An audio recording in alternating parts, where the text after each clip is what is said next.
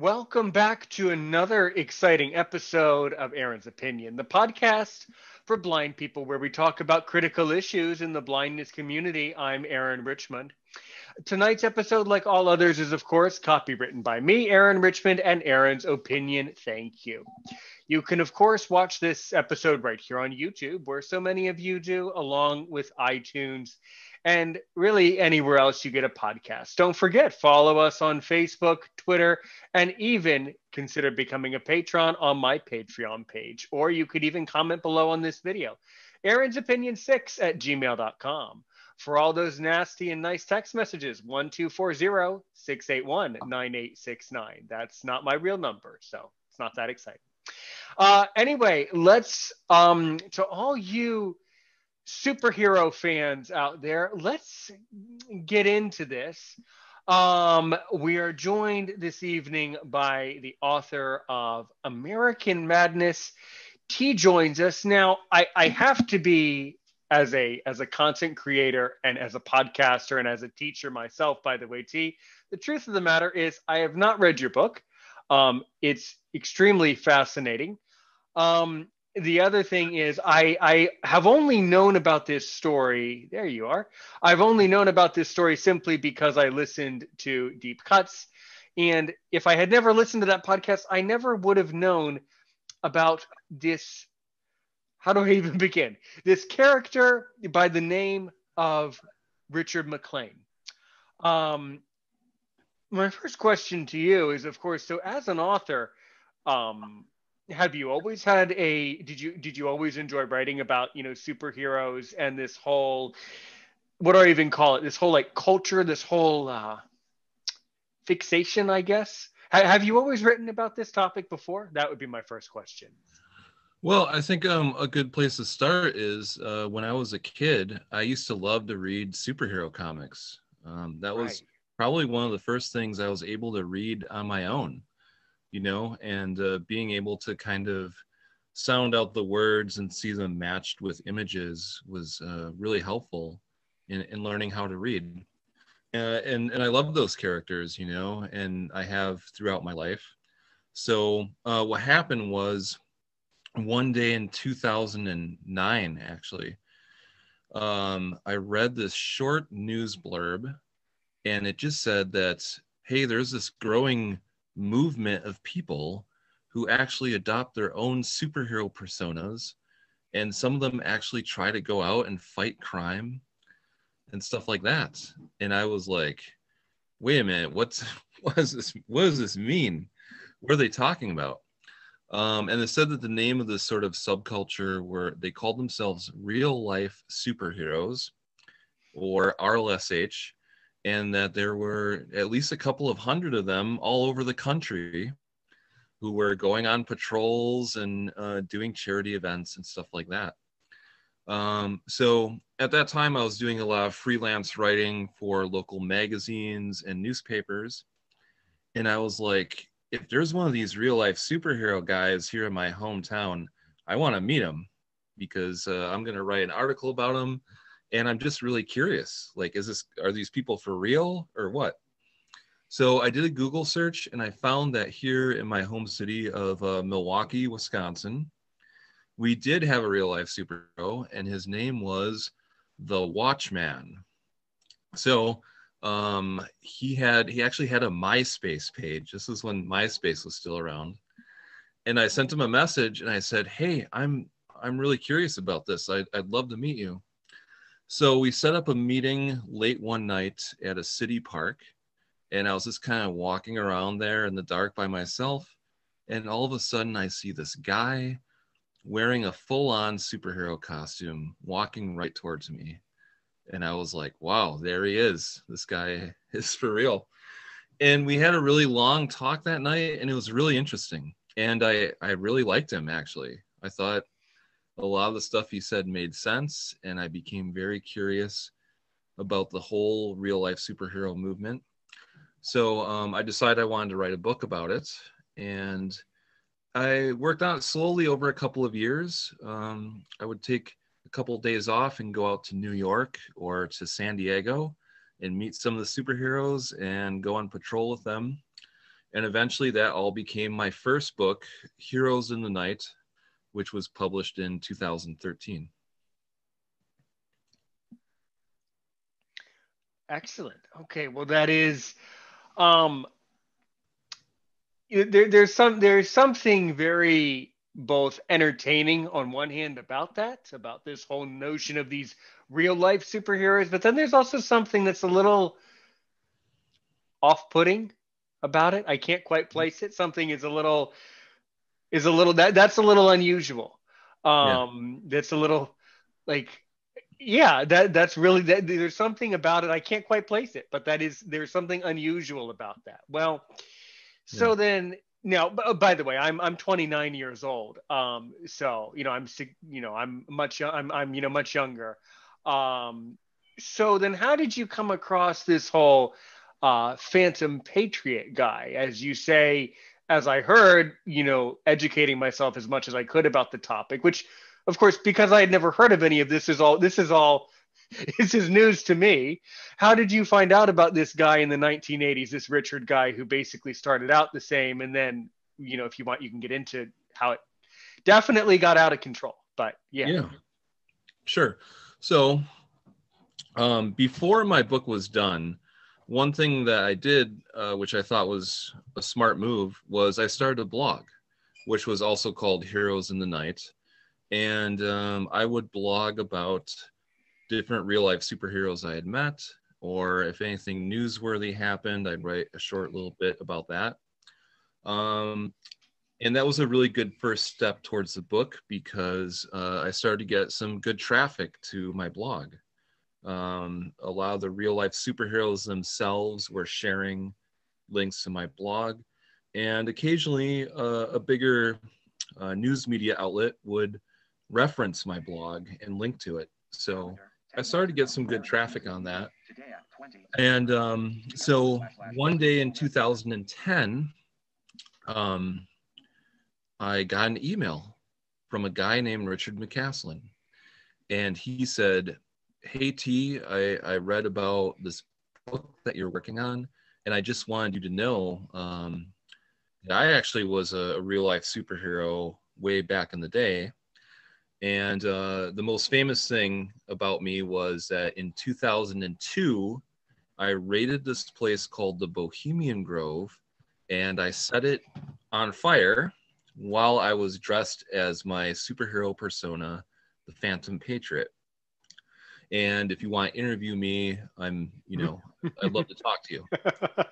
And I was like, whoa, whoa, wait, you know, yeah, yeah, if, exactly. And you know, and if I if I had been reading that, on one hand, there's kind of some, it's kind of some red flags.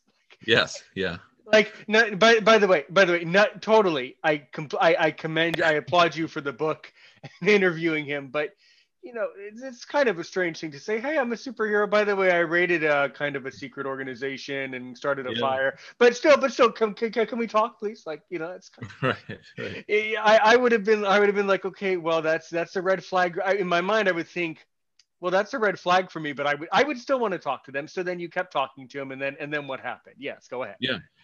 Um, yeah, I, it was a red flag, and I was like, I had met some kind of out there characters already working on Heroes in the Night. You know, I'd gone on patrol with some of these guys, but I had never heard of this place, the Bohemian Grove, that he was talking about, and and so I was like, what is this guy talking about?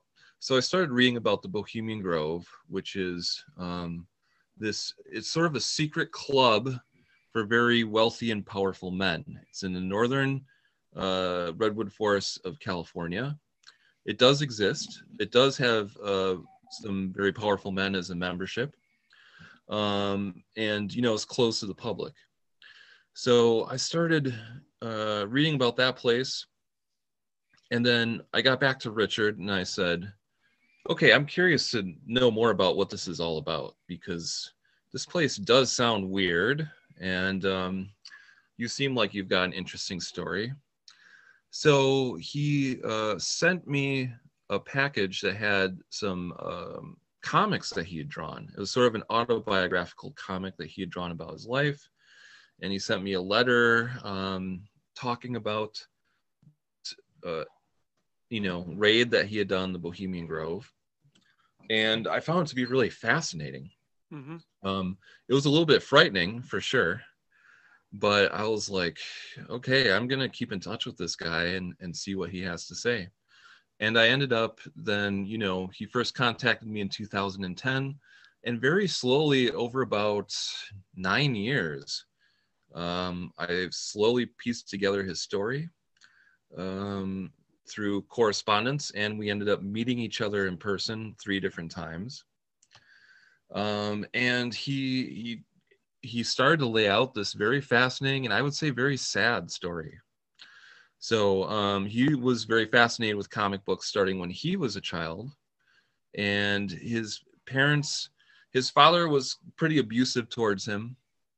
So I think that he escaped into these comic books as a, a way to, you know, escape from that reality. Um, and he became like very focused on superhero comic books. Uh, after high school, he joined the Marines because he said that he thought it would be like a superhero training school.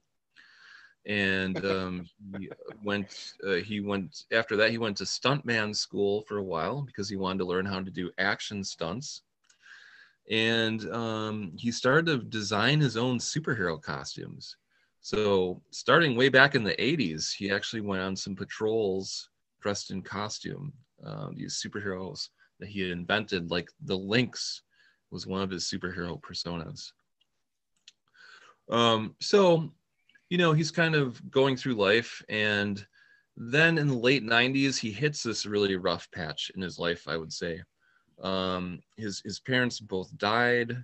Uh, he was having a lot of trouble finding direction as far as a, a career or a relationship or even friendships and he stumbles across a documentary that's made by a conspiracy theorist named Alex Jones. And he becomes very fascinated by this documentary, quote unquote, about the Bohemian Grove, where Alex Jones says that they're doing these satanic rituals in the woods and there's all sorts of terrible stuff going on. So he invents his own persona, the Phantom Patriot, which has this kind of creepy skull mask and a jumpsuit. And he gets a bunch of weapons, and then he actually drives to California and he raids this place, the Bohemian Grove. And he ends up having a, standoff with the police. He came pretty close to dying that day, um, but he surrendered and then he went to jail uh, for about six and a half years. And uh, when he first contacted me in 2010, he was out, but he was still on parole.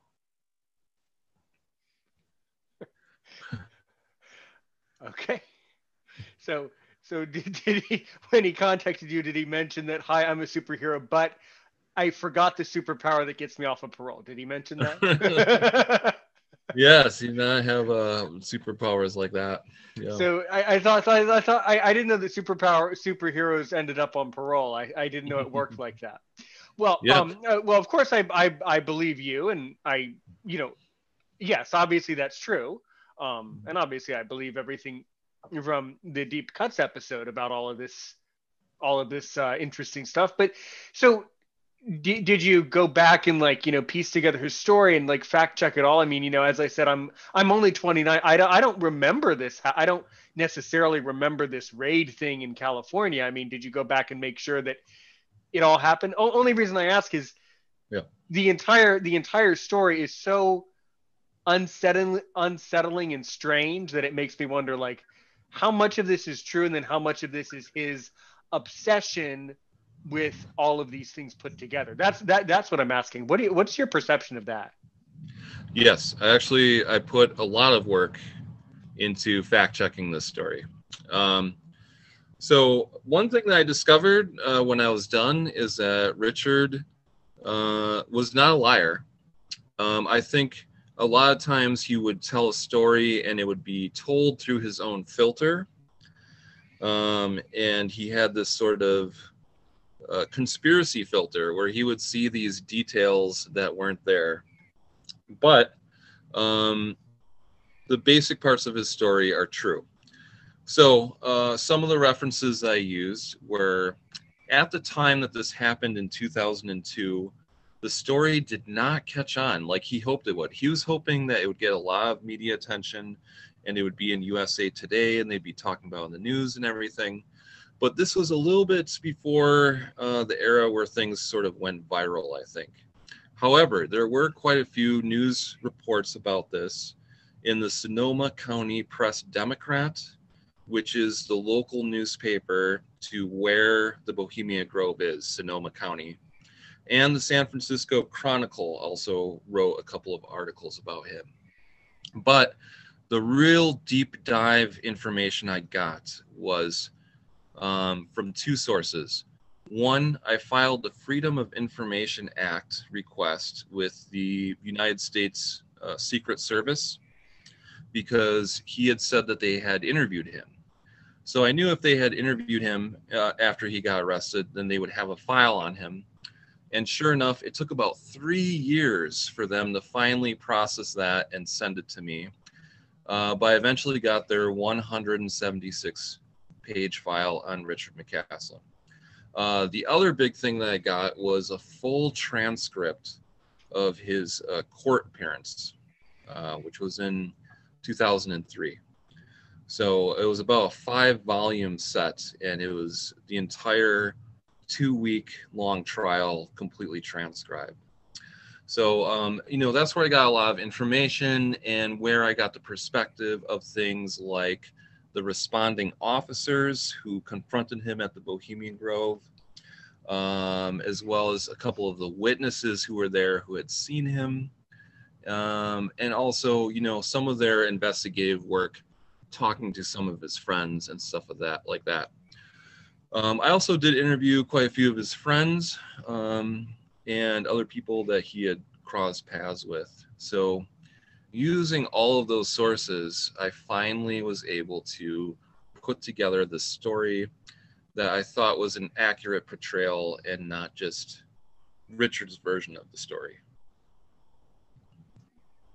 Excellent. Yeah. So what what did his other friends say about him? Would be would be the question. Um, a lot of them. I talked to someone who was in the Marines with him, and he didn't have a lot to say about it, but uh, he has he had this friend named Lon who uh, had gone to stuntman school with him in the 80s, and Lon is a, a really great guy, and he's pretty much the only consistent friend that Richard had for most of his life. Um, they met and became friends at stunt school. And then uh, something that really touched me, I guess, was Lon had met Richard's parents shortly before they died. And one of the things that Richard's mom said to Lon was, you know, I'm really concerned about Richard because I don't think that he has any friends. And I'm worried about him. So I think Ron, uh, uh Lon, I'm sorry, uh, after that, uh, kind of felt like he was someone that needed to be Richard's friend, like no matter what. And he certainly doesn't agree with Richard's beliefs or or the things that he did but he always kind of stuck with him and and, and helped him out where he could. So um so it was really interesting to get his perspective the perspective of someone who viewed richard not as a complete crazy guy but uh someone who was a human and and had had some problems in his life but he also had a good side you know? He could be a, a really nice person. Uh, I think that he did try to help people out when he raided the Bohemian Grove, it's because he believed this conspiracy that there were people that were imprisoned there and that they were going to be sacrificed in this satanic ritual. So he thought that he was going to be helping people when he raided this place. But of course, he was just very misguided on that. Yeah, no, I mean, in my my perspective of him having number one, having never known about any of this until I listened to the episode, and having never read the book about it, just from the complete outsider perspective, just as another podcaster looking into this, he to me he seems like a really nice guy, but he also seems like someone nice guy, but a lot of challenges in his life. He seems yeah. he he's he's good. He he has he has a good soul, but he seems to me like he's simply misled and kind Mm. of just kind of a nice guy, but not quite. Yeah, just simply misled. And then I think if I understood it correctly, he had some sort of a, as I would describe it, some sort of a little fixation with some country music star, and he kind of went Hinckley. He almost became like a Hink. He had a Hinckley-ish type of fixation at one point. That was really strange too. What what what was that about? Yeah. So, um, so what happens is, I, I think he was sort of having a mental breakdown at this point. Um, his, he, as I mentioned, his parents had died. His parents left him a pretty sizable inheritance. All right, it was uh, about seven hundred thousand dollars. So he had a lot of money, um, but he didn't really have any friends. He didn't have any direction in life, and he had this unhealthy fixation on a country music singer named named Chely Wright. And he saw that she was having a charity event in Nashville. Um, so he drove up there, and and one of the prizes in this charity event was uh, having a dinner with her. You know, to the highest bidder. So he bid fourteen thousand five hundred dollars. Uh, he won, and he went on this dinner date, and he kind of was delusional and thought that they were falling in love with each other uh, when they weren't. You know, she was just being polite to him because he had been the winning bidder on this dinner date. Um, so after that, he was very, uh, once he realized that she didn't like him, he was very heartbroken about it. He tried to write letters to her fan club several times until they told him, you know, you better, you better knock this off okay you're not you're not getting the hint that she's not going to have a romance with you so i mean that was kind of like the last uh, piece of the the puzzle that made him decide that he was going to go full on conspiracy commando and uh, raid this place of bohemian grove so it's just like i feel bad for him because i he just like was really struggling to figure out life during this time.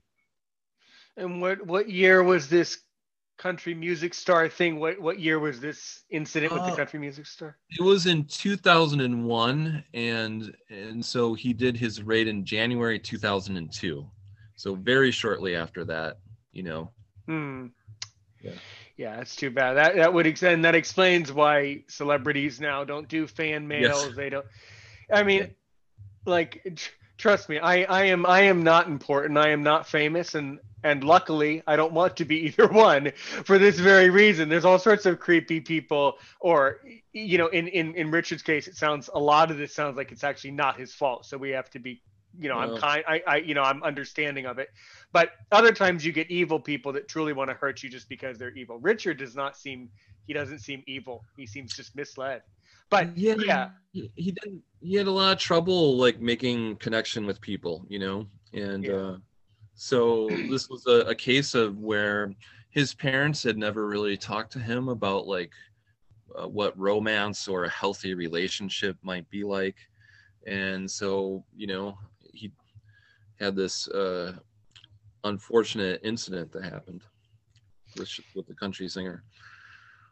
Yeah, yeah, that is that is very very un, very dangerous. I'm I'm sure now that person, that country singer, I'm sure she doesn't do any more charities. Can- I mean, can you imagine in today's world, you win a charity dinner, you can have you can have a dinner with the person. Like that's obviously, I Yeah. mean, it's like you're like I, I I'm not I'm not trying I'm not trying to sound obnoxious, but it's like you're kind of asking in a in a way you're kind of asking for a problem because I mean you're it's like you're saying to anyone who anyone who has enough money to, to win the bid is going to be the crazy person.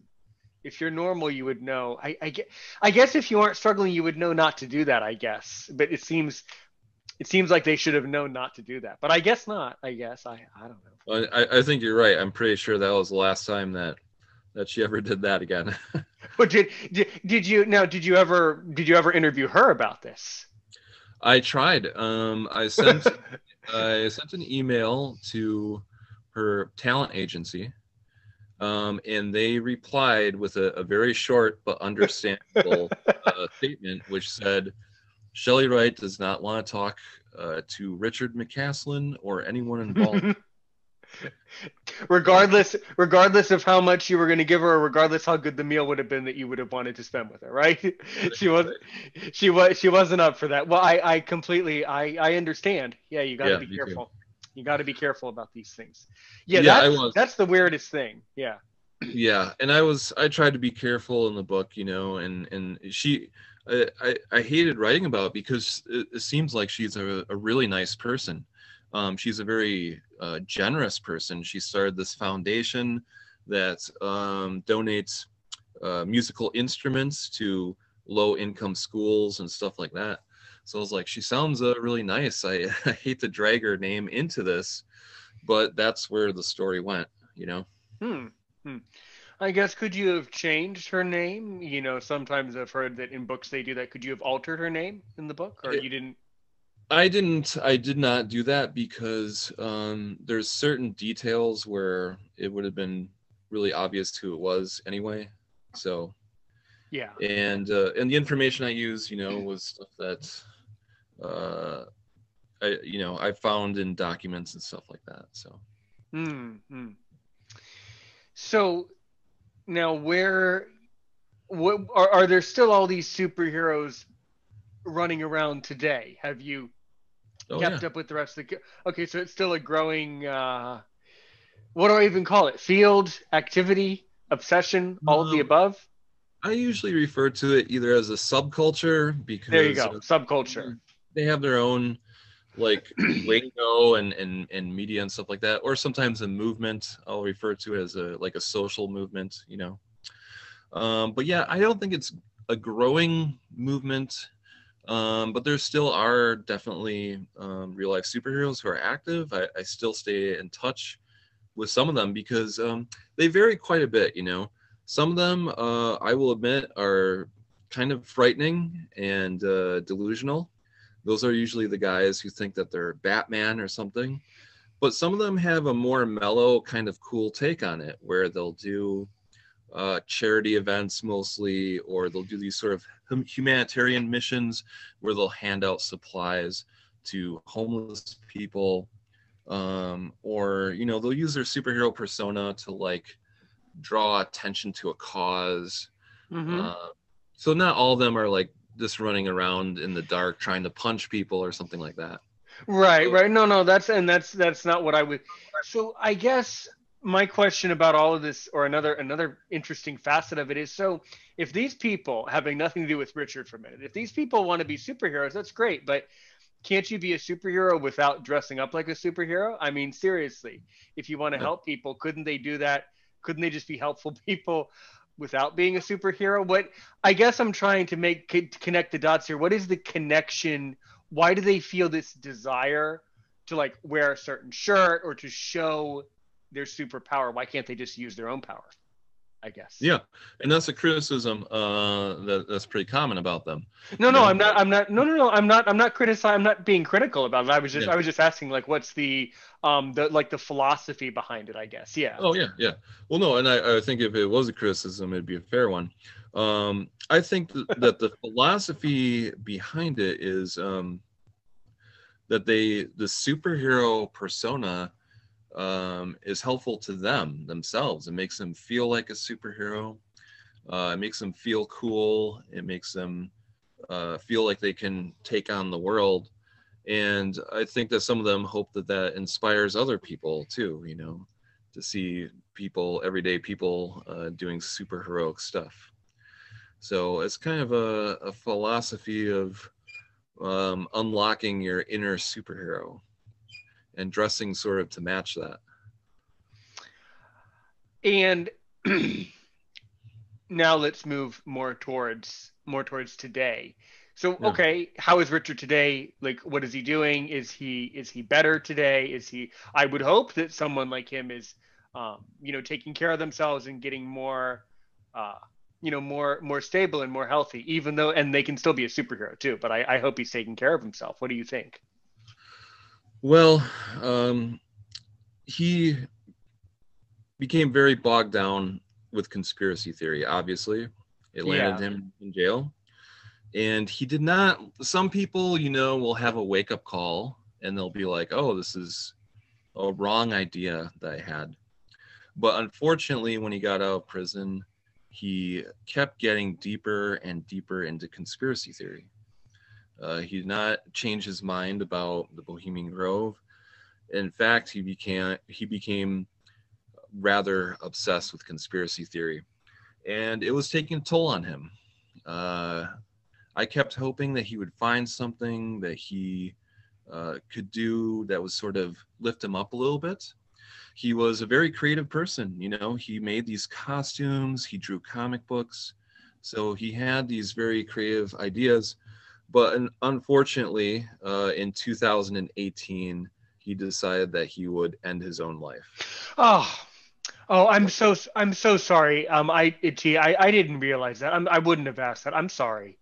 I'm, it's okay. It's, yeah, I, uh, I, did, I wouldn't have asked that question if I had known that was that answer. Oh, that's okay. Uh, and I write I write about that in my book too. Oh, that's that's all that's awful. Yes. See that yeah. kind of. See, but yeah. that kind of ruins the whole. Obviously, it ruins the whole thing. Yeah. Now I feel okay. Now I'm like hundred percent feeling sorry for him now. I yeah. Guess. Yes. Yeah. It's, oh, it's that's terrible. too bad. Oh, that's that's really that's depressing. That's not even interesting. That's just depressing. That's yes. really weird. Yes. And it's something, you know, I tell people uh, one thing that I wanted to, to get across in this book is some of these conspiracy theory ideas. Um, well, some of them I, I think are, are kind of harmless, right? Like I love the X Files when I was younger, and I, and I like hearing about extraterrestrials and stuff like that.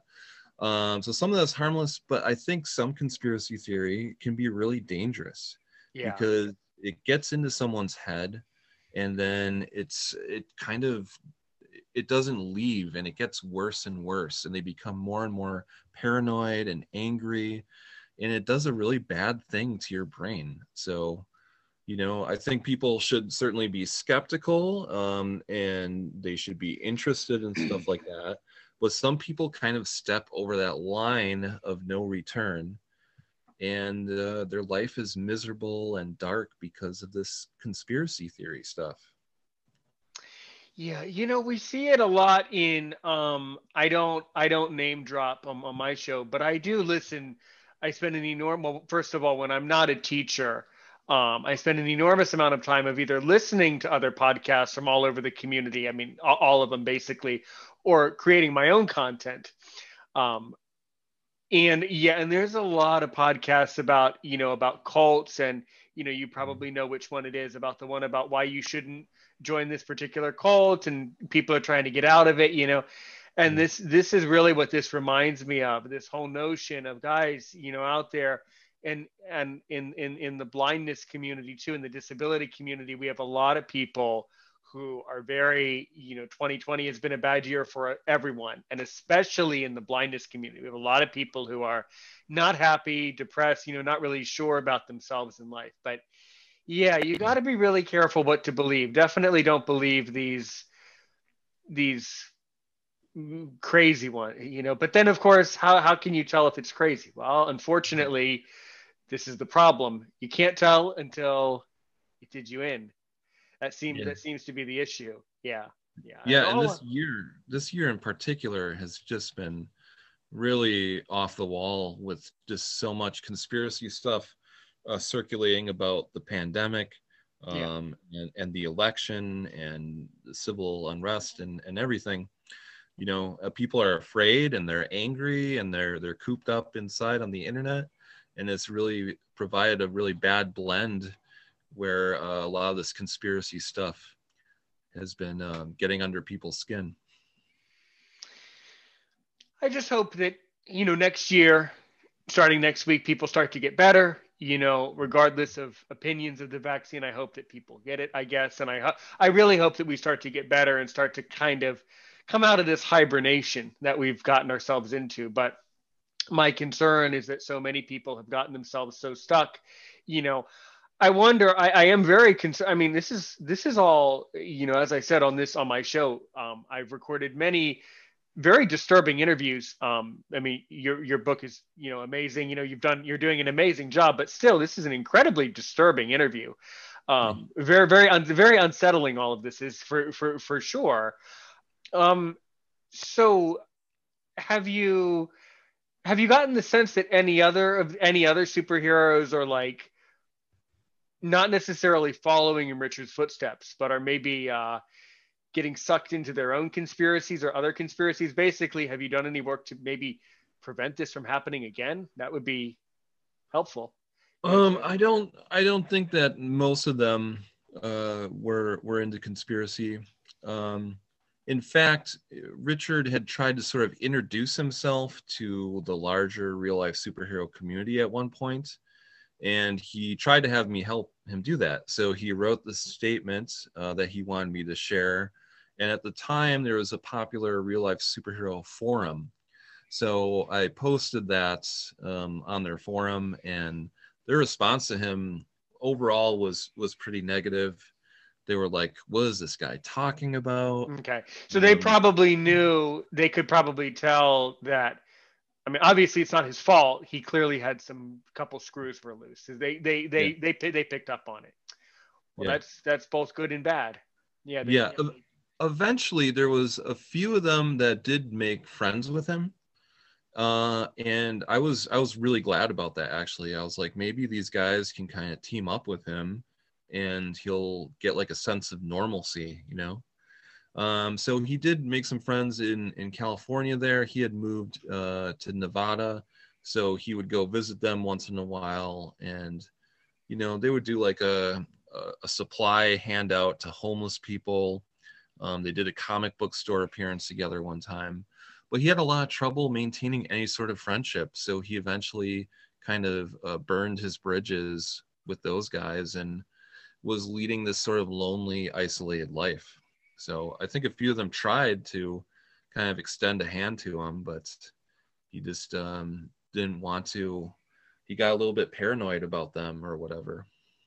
Yeah, yeah, and as and as you know as as a blind person you know i never had any i've had many interests in life. None of them have been to be a superhero but it is you know now that i'm hearing it from you hearing it directly from the person who wrote it rather than you know the second hand from another podcast kind of the hearsay perspective now i'm hearing it from you.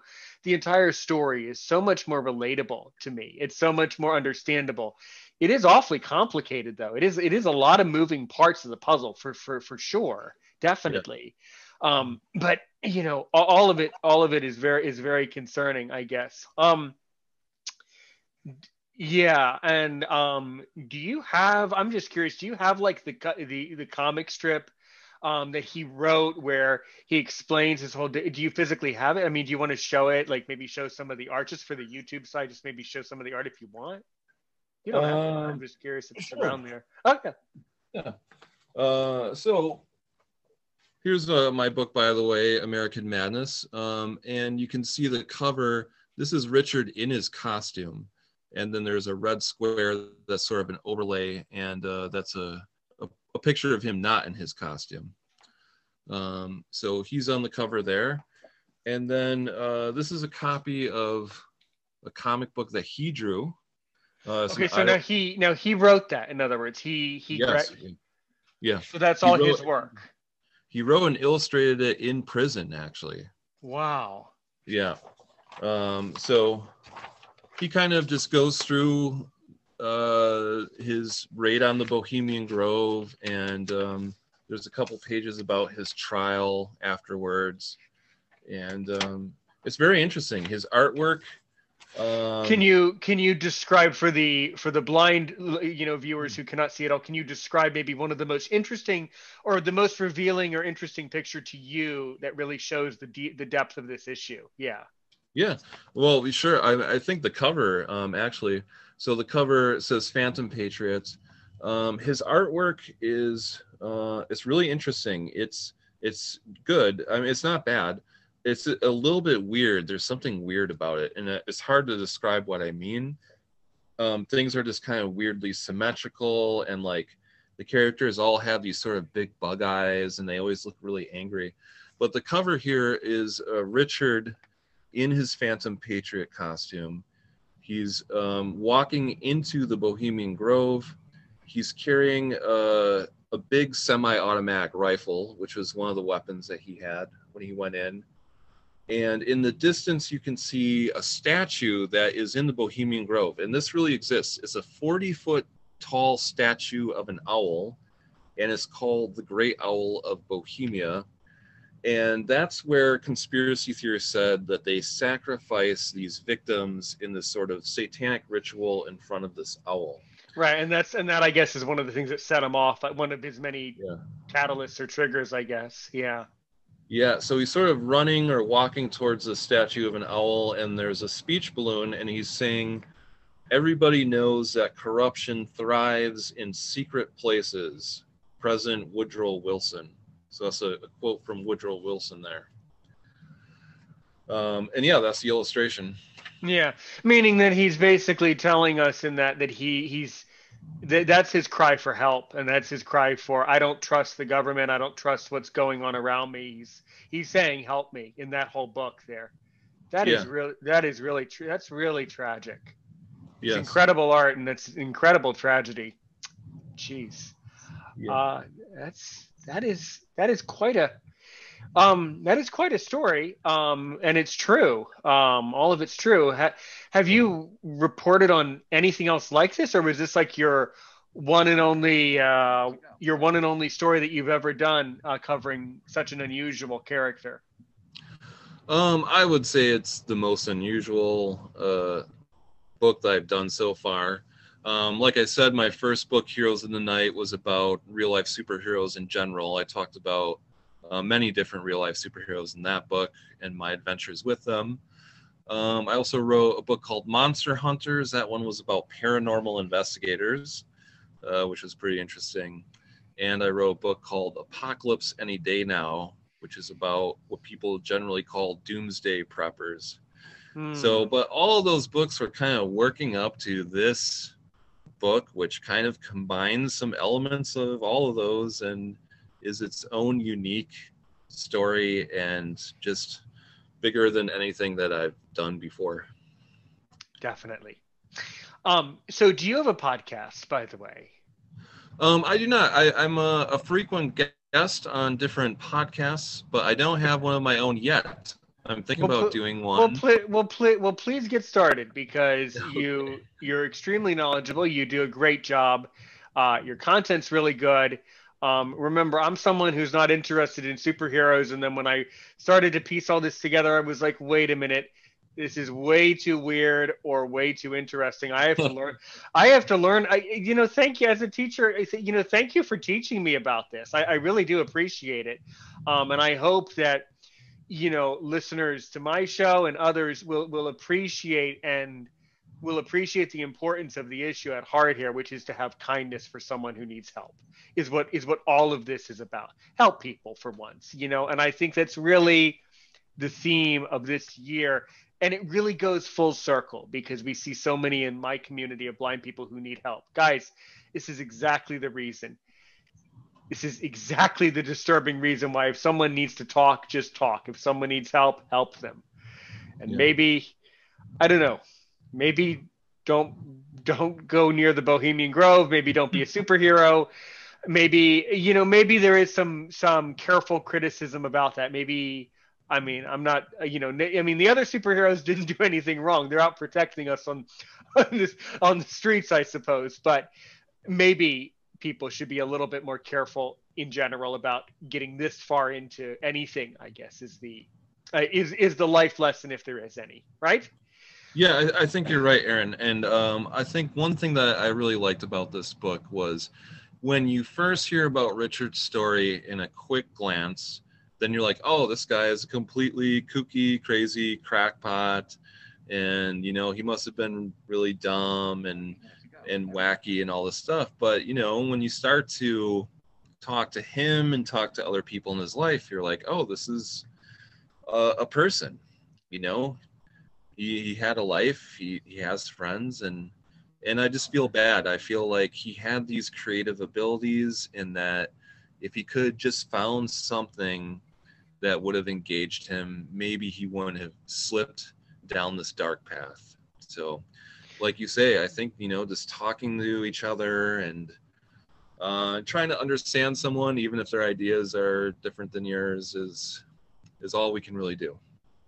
Yeah, or start podcasts. You know, podcasting is about listening to what other people have to say and creating engaging content. So, no, I, I, seriously, you should start a podcast about this. This is really important to educate people about this type of thing about not falling in general asking for help and not falling into these conspiracy theory traps. Now, it sounds like overall it sounds like Richard, you know, probably you know had had some other challenges in his life health-wise and you know maybe he could have been saved maybe not it's not for me to say but yeah if, if we can help one more or if we can prevent this from happening again it would be good if we can prevent problems in the future that would be that would be really good um i must say um that was the that was the longest I've ever talked about superheroes. I've seen a couple of the Spider-Man movies in the theaters. So, yeah, do you after going through all of this madness, after going through all of this American madness. Do you mm-hmm. do you are, are you do you ever watch um you know superhero movies? Um, will you go to a superhero movie in the theater, or does it still kind of leave a that's unsettling taste in your mouth when you think about it? What do you think?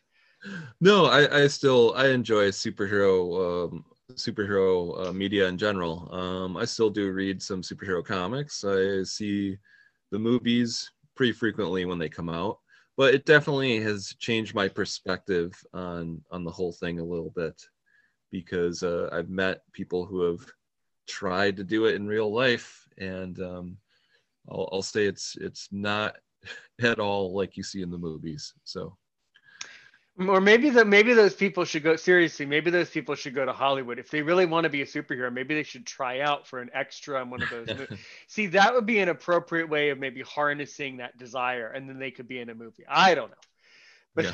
then the problem is Hollywood's in California. That's where Bohemian Grove is. So that would end up, yeah. I don't know. I don't know how good that idea is. Probably it's not good. But but um, yeah, all all very all very fascinating and, and, incre- and an incredible topic. Um, as I said, I I've heard everything on this show um, on Aaron's opinion. My podcast geared towards mostly disability issues, and now and now I've heard everything on this thing. Now I've heard this. I now I have a superhero story. I, I haven't gotten that one yet. I don't think I don't think I'll get one uh, again. Um, I mean that's basically all the questions I've had. You've been you've been a magnificent host, magnificent okay. guest here, um, and know that you know once you're on my show, you're always welcome. So if you meet other superheroes who want to come on to Aaron's opinion, sure, they, I'll bring them they, on. They can they can just they can just email me Aaron's opinion six at gmail.com. Um, right. that would be very that would be very interesting. Do you do you have any questions for me? I always like to ask the guests at the end. If you can only ask me only one question to really make me sweat, what do you want to know? I mean, after uh, everything you've been through, I would hope I, I think you can come up with a really good question. You know. Uh, well, uh, tell us about what your superhero persona would be. Sure. Um, I think it would be creating a podcast where I help people who are blind or have disabilities to to have knowledge and to really enjoy the art of podcasting and coming and communicating about the issues that are most important to them. And that's a, that's a superpower that you can have wearing this shirt or any other or all seasons, East Coast, West Coast, whether I'm near the Bohemian Grove or not, whether I'm in France or not, my power can be podcasting. How about that? Oh, there, you mission accomplished. You've already accomplished your mission. Well, see, I see. So then, is it well? Then all, it's that makes it all worthwhile. All right. If someone wants to get in touch with you, um, personally uh, well well you know what i mean. So yeah if someone wants to reach out to you about this episode how would they do that? If you want you can give yourself a plug of course. Okay yeah. Um, i've got a website teakrulos.com that's t-e-a-k-r-u-l-o-s.com and the website has my contact information and information about my books. Um, and i write a weekly column on it called Tea's weird week. So. Tea's weird week. Or you could also have kind of um kind of a play on words, you could have tea with tea. Right, right. That's good. That would be good. Tea with tea. Yeah. Mm-hmm. But Tea's Tea's weekly. Maybe that'll be my podcast name. Yeah. A cup yeah. of tea with a cup of tea for tea. A right. cup of tea for tea. That's good. That's good. Yeah. Yeah, I like it. Any other words of wisdom for my audience? Oh, I just it's been a a rough long year and um it's almost over now. So uh, I'm I'm hoping everyone uh, things get better and we get back on track and good things happen in 2021. So I hope everyone's been doing all right out there during this crazy time. Tea, I completely agree with you. I wish you the best of health. I wish everybody else the best of health all over the world. Um, and of course, I have a very special way that I end every episode, which is saying thank you. We'll be back next time. And of course, as I say, help one person today, help a million people tomorrow.